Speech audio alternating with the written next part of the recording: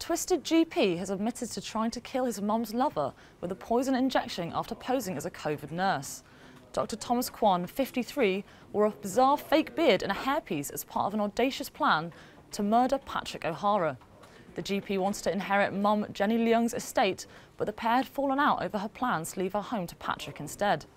Patrick, 71, was lucky to survive after the toxin caused a rare and life-threatening flesh-eating disease. Kwan denied attempted murder, but today dramatically changed his plea on the second day of his trial.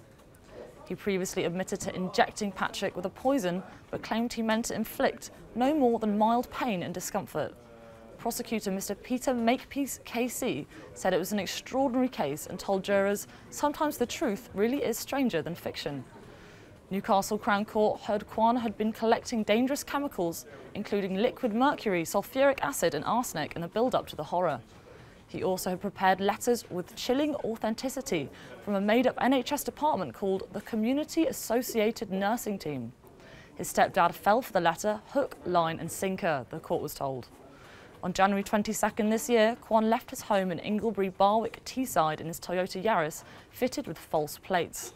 He was then spotted on CCTV checking into a Premier Inn in Newcastle under a false name as the murder plot got underway. Footage showed him leaving a few hours later in the hotel in a disguise including a long coat, surgical gloves and a face mask. The court was told he travelled up to Patrick's home and said he was from the NHS using a broken English accent. He then told the pensioner he was going to give him a COVID booster injection. His plan was so successful, even Kwan's mum was oblivious to the fact the so-called nurse was her son. Prosecutor Peter Makepeace KC said immediately Mr O'Hara felt a terrible pain and jumped back. He shouted bloody hell and explained the immediate and intense pain, but the nurse reassured him. From that piece forward, the nurse began to noticeably speed up his departure, packing up his equipment and leaving the premises in something of a rush. As he left the home, Mrs. Leung came downstairs again and commented that the nurse had been the same height as her son.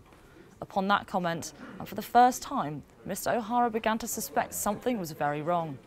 He went out into the street to see if he could catch the nurse up and get some reassurance. He was too late out into the street and could find no trace of the nurse. He returned home to find the pain in his arm increasing. Doctors discovered he was suffering from necrotizing fasciitis a rare, life-threatening flesh-eating disease. Patrick needed multiple surgeries to remove a very considerable portion of his arm. Kwan was arrested two weeks later and cops uncovered the full extent of his murder plot. Officers also found castor oil beans in his garage and a recipe for manufacturing ricin from the beans. An MOD chemical weapons expert was brought in, but unable to establish exactly what poison was injected into the victim. Kwan, who has an encyclopedic knowledge of poisons, had grown obsessed with money and inheritance before hatching the sinister plan.